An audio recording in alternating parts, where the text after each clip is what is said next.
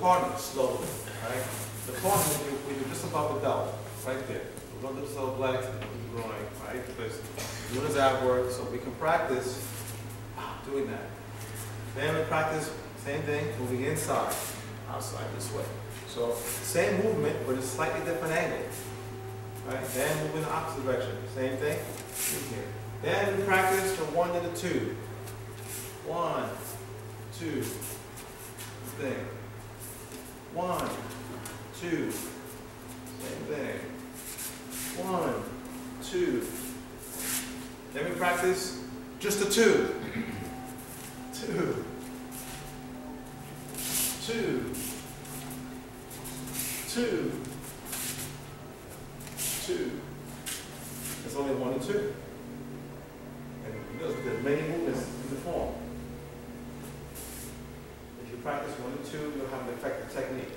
Going to say practice up to every movement because most are not going to do that. But the bare minimum, one and two. So then, that's just them coming at me. So then, let's say striking. Do the one, do the one, this, is this slow motion. Slow motion, look, when I do this, I shatter this arm. Understand? Shatter. Right? Same thing. Right? So, that doesn't feel good, right? Any over here, here, right? Right, so also, where you hit and how you hit him.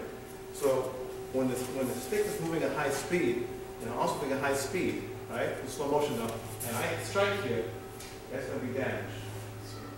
Got that? Okay. So now, we did a couple of movements, and he was, oh, okay, so we did like, oh, this, this, this. Yes? Sir. Okay, so, that's another seminar application. So, ah, grab with your left, pull it down, and punch me in the face. Ah, Understand? Yes, sir. So watch. Do it easy. Understand? So from this way, I can take him over or take him down. Don't go over, do slow. It hurts. Okay, do slow. Now you can feel nice, right? I'm not putting a lot of pressure, by the way. Then I come here, and I take my cell phone. Say, ow, out to them. Alright. So, there's a lot of different movements that have multiple applications. Don't judge yet. Practice your form correctly, step by step, each movement. But this can be really important. Okay, yeah, it's gonna be a little challenging for a little while, and then it won't be. Right, so all this, all these movements, especially small circle, big circle. So, right here, that one, that one. So look, small circle. Easiest. Got that? Right? Big circle, right throw.